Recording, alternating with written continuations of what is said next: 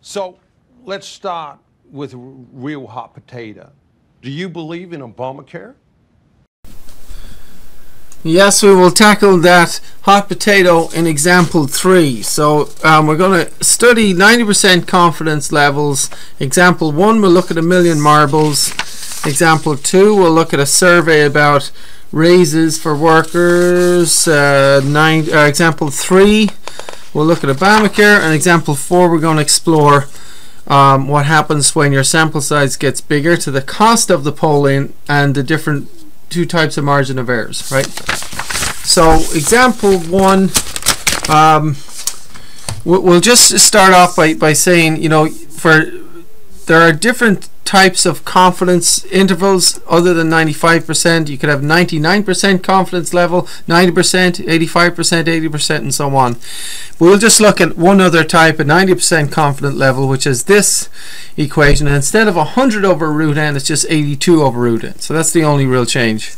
And it simply means if we conducted the poll 100 times, we would expect 90 of those sample results to be within m percent of the true, true percentage, right?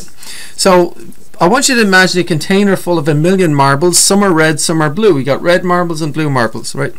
We want to know the percentage of red marbles in the container. It would take a long time to count all of the marbles and it would be expensive to pay someone else to do it. Uh, how large of a sample should we take to get a good estimate of the percentage of red marbles? So let's say the actual percentage is 70%. You're not supposed to know that, right? So we're actually trying to find that. How much close do, do, do we get to the population percentage as the sample size increases, right?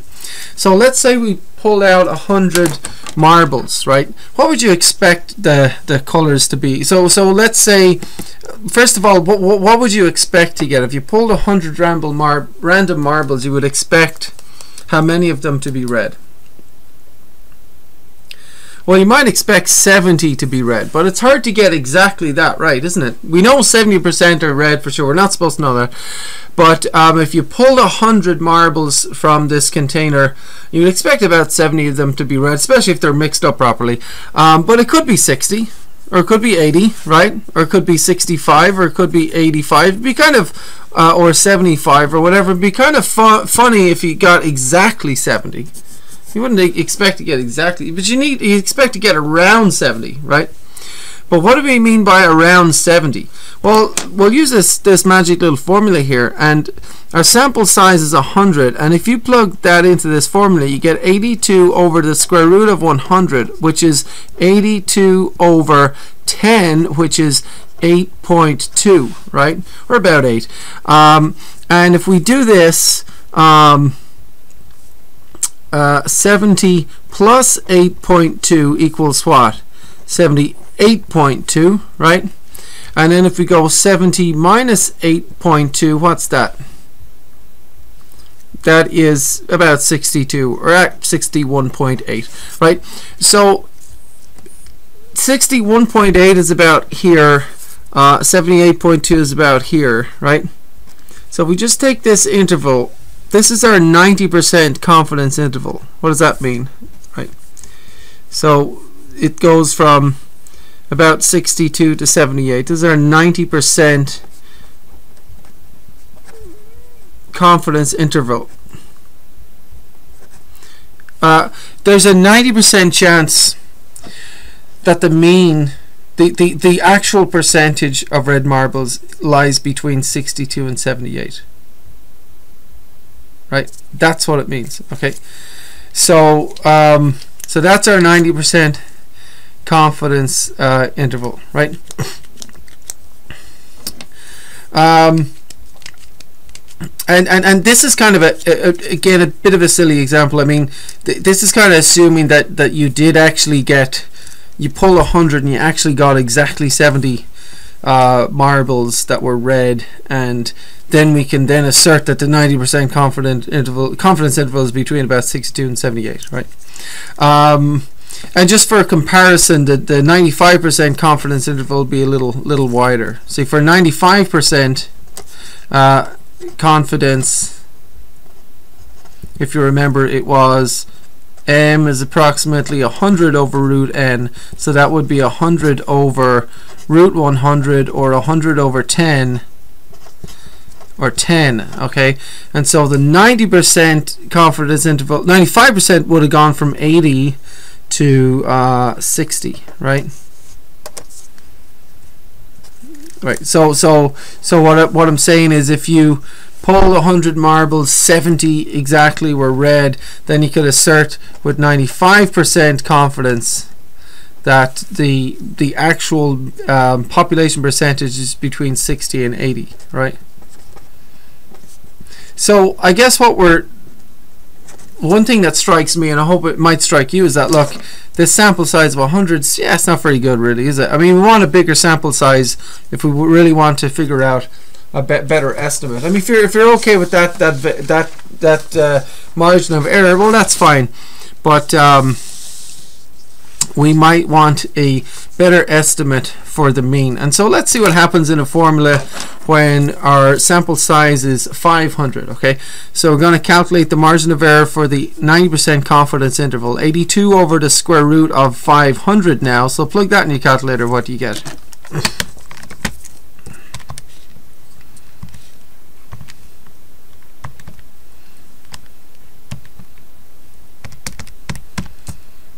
Okay so uh, 3.66 so about 3.7 approximately right? And so again bit of a silly example. Imagine that that we we pulled uh, we, we sampled 500 marbles you know exactly 70% of them or um, 350 wouldn't that be? Yeah 350 of them were red and and and, then we count okay that's 70% so so again imagine that 70% of them happen to be um, red. And how confident are we that we're how how how confident are we that we've, we've got closer to the um, actual population well I'll do this. 70 plus 3.7 is 73.7 or almost 74 and 70 minus 3.7 is about 66 um, 66.3 in fact but about 66 so about there right? So now this is our 90% confidence interval right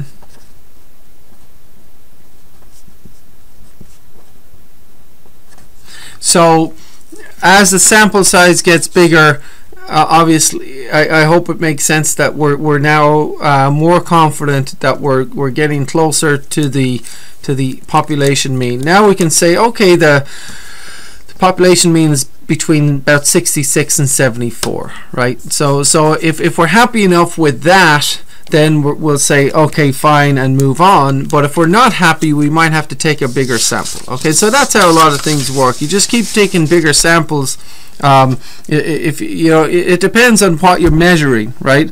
If you want to be more exact to the population, you've got to take a bigger sample, but that takes time, and and time is money. So, but anyway, um, if we took a sample size of 2,000, what would happen? Our margin of error would be 82 over the square root of 2,000. Okay.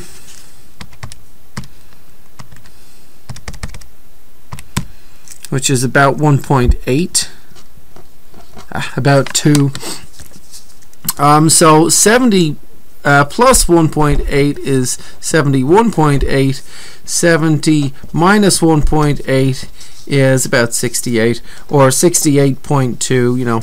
Um, so about from here to here. Okay so now the confidence interval has shrunken even smaller right? Here's our new 90% confidence interval confidence interval right? Um, so as the sample size gets bigger the confidence interval gets smaller the margin of error gets smaller. The margin of error becomes closer to the um, population. Um, what size of a sample do we need to get um, exactly there?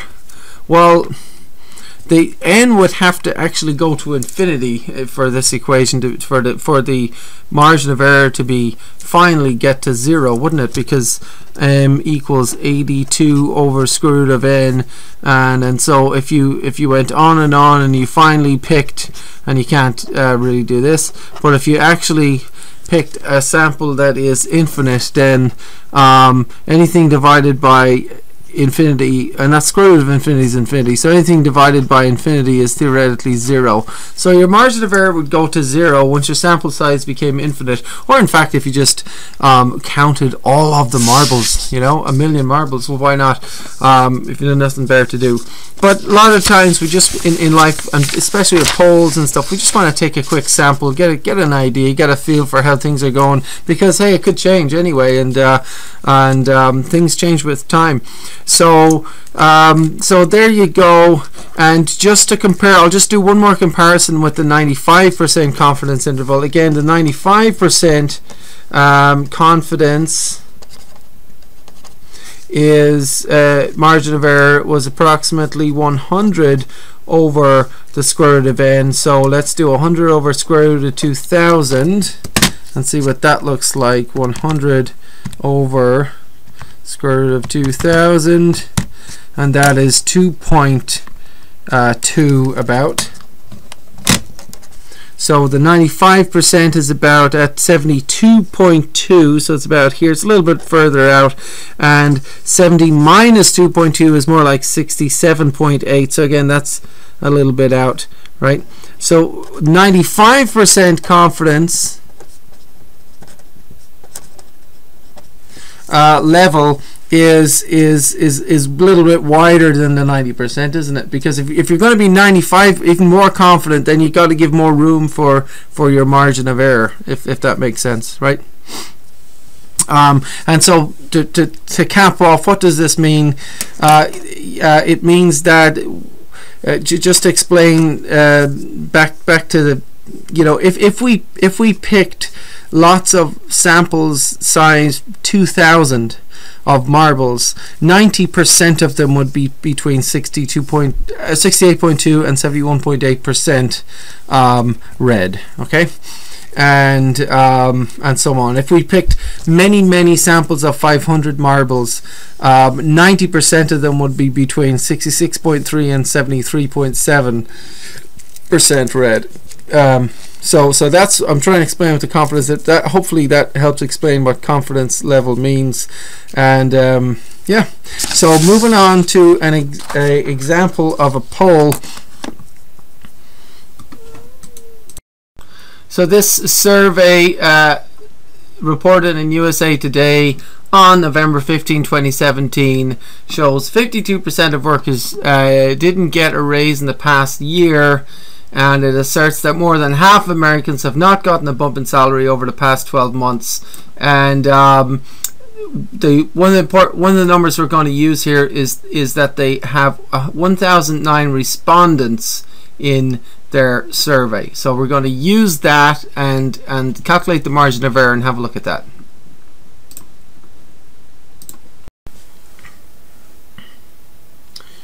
All right. So what is the approximate margin of error for a 90% confidence level, right? And then for the 90% confidence level, explain in, in plain English what we can conclude from this survey. Okay. So um, the the margin of error is for 90% confidence is 82 over the square root of n. Okay. And we read the article and found that there were 1009 respondents. So the sample size was 1009. So plug that in the calculator and see what that turns out to be.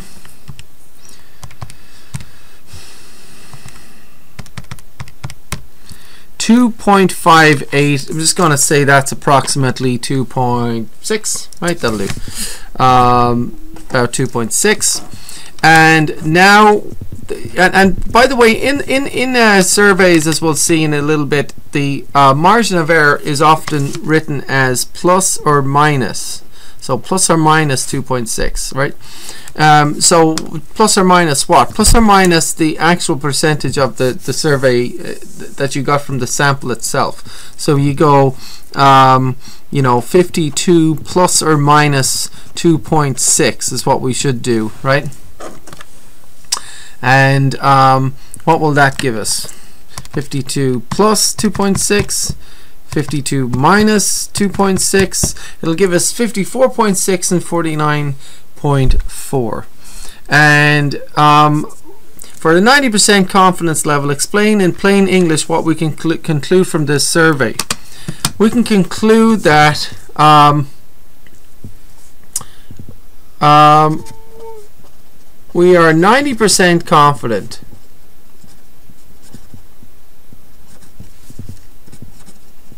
that the actual population percentage lies between 49.4 and 54.6. Okay, we're confident that the population percentage, the one we're really wanting to know, not just those sample of 1,009 people that we, we called, but the actual population is between these two numbers. Okay, so we're 90% confidence that between 49.4% and 54.6%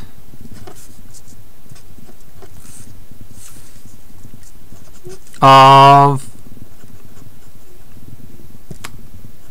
of American workers uh, did not get a raise in the past year. Okay?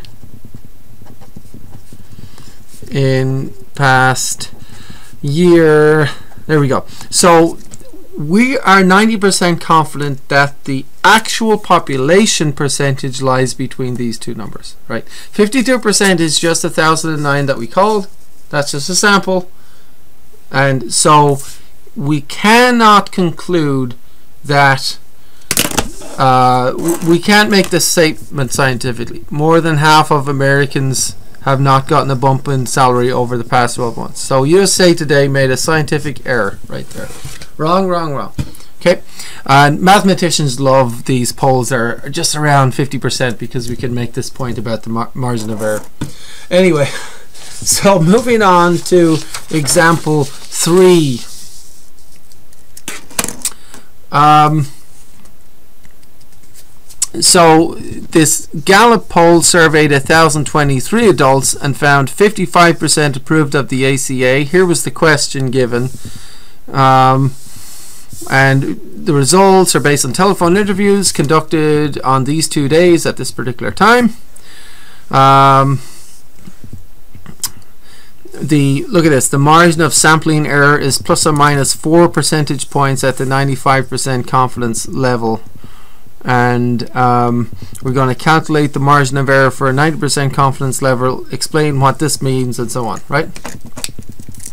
So m is approximately 82 over square root of n which is 82 over the square root of and how many people were surveyed? 1023 so we will find our margin of error to be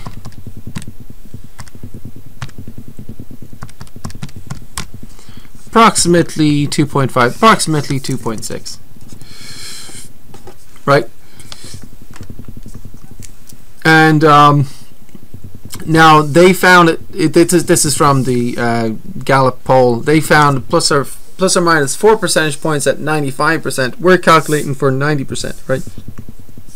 So the out of those people surveyed 55% approved um, and so we go 55 plus or minus 2.6 right?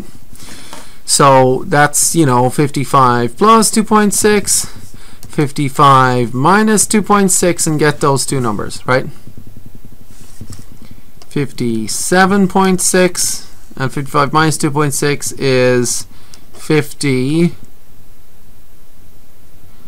2.4 okay so what can we conclude? So calculate the margin of error, we did that. Margin of error is this. Explain in plain English what we conclude from this survey. In other words, explain the confidence interval. So can you do that? Explain in plain English what we can conclude from this survey. So we conclude that we're 90% confident that the actual uh, population percent is between these two numbers 52.4 and 57.6 okay that's what we can conclude. We're 90% confident that the actual number is between this and this. This 55% is just from our survey. That doesn't represent that's not the population. The, the population wasn't all they weren't and they didn't ask everybody they just asked those 1023 people right? But if this is a good sample if this is representative of the population and not all living in the same town or all exactly, you know, 25 years of age or everyone's exactly uh, 70 years of age or whatever. So if this is a good random sample from that that's representative of the population, um, then we can conclude that the actual percentage of population is between these two numbers. So 9% confident that um, between 52.4% and 57.6% of Americans um, approve of the Obamacare, right? Now, um, so please go ahead and calculate the margin error for 95% confidence level. That margin of error was um, 100 over root n. So press pause and do the same thing for the 95% confidence level and see what you get. Okay, I'm going to do it now really quickly. So that's 100 over the square root of 1023. Plug that in the calculator, should be about 10.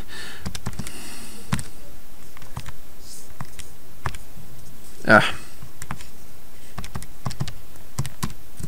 3.12 so about 3.1 so now we take our Poll's percentage which is 55 and we add and or subtract 3.1 now 55 plus 3.1 is 58.1 55 minus 3.1 is um, 51.9 so what can we conclude?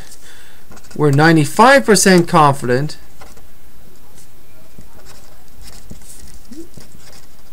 that the actual number for the population is between this and this.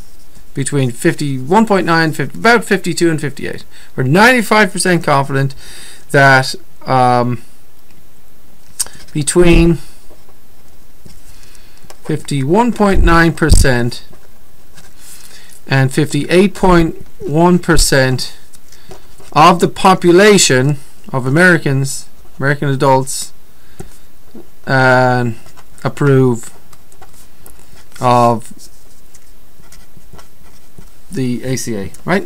So, um, and isn't this interesting that we found 3.1 and the the paper says uh, says four, so they're being a little conservative in a way. They're you know they they're they maybe they uh, there's a slightly different formula you can use, but but they've they've increased it even more.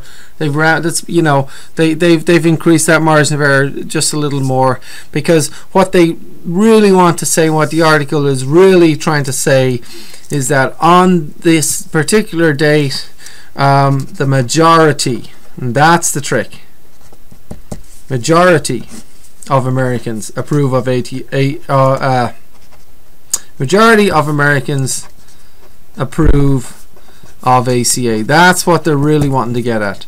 More than 50% because that's what you need in a democracy. More than 50%. That's the magic number, isn't it? Right? So let's explore this article just real quick just to see, see just to understand a little bit more about the polling. So here's our uh, Obamacare poll of April the 4th, 2017. And what are they looking for in political polls? The majority. What does the majority mean? It means more than 50%. So that's what makes the headlines. Affordable Care Act gains majority approval for first time. See, that's more than 50% uh, is power, right? Uh, and uh, in public opinion, ever since we've moved from feudalism, for example, to democracy, public opinion has meant uh, a lot. So. Um, so and here's the actual question. And so so let's just go into just a couple of points about polls. Um, if, if, I scroll down here we can show you um, the the little bit of a math part here. It tells you the, the random sample. Look at that random sample of 1023 adults. You don't want them all to be uh, of one party or the other. You don't want them all to be the exact same age or, or gender or income or whatever. So that be random and look at this. The margin of sampling error is plus or minus 4 percentage points at the 95% confidence level. And it even goes into a few little details like they got to have a minimum quota of 70% cell phone respondents, 30% landline respondents, just to try to reflect the general population. And you can read about their survey methodology and their, their all, all sorts of uh, things here, right? How the polls work. Um, but the other point on poll so so so so there's a couple of points and you know you got to make sure your sample is is reflective of the population. You got to be careful about your question. So this is their question. Do you generally approve or disapprove of the 2010 affordable care act signed into law by president obama that restructured the us healthcare system. So you know there's the, the question can dep- can change the response slightly as well. Like for example if you take out president obama's name from the question, um, there might be uh, people that um, that don't like uh, this this person, and so they will they will approve. Uh, if you put it in, then then then they might have disapproved, and vice versa. There might be people that like this person, so they'll approve, or they don't, and so they disapprove. And and then even this this part, like, you generally approve? See, that generally is a big word. If they had said, you completely approve, then they get a different response. See, so so how you ask the question is a big deal. And the other thing about political polls, and and, and why don't they they survey more people so that their margin of error gets smaller? Well, look at this. I mean, look how people are changing their mind all the time. Like this is April 2017, April 20, August 2016, December 2015, you know, April 2013. They're changing their mind like crazy, right? Why are people constantly changing their mind, right? So, so that's why you don't want to be doing your spending a ton of money on big surveys, right? Because people always change their mind anyway. So, so these, you know, political surveys are just like a moment in time, and they say a week is a long time in politics, right?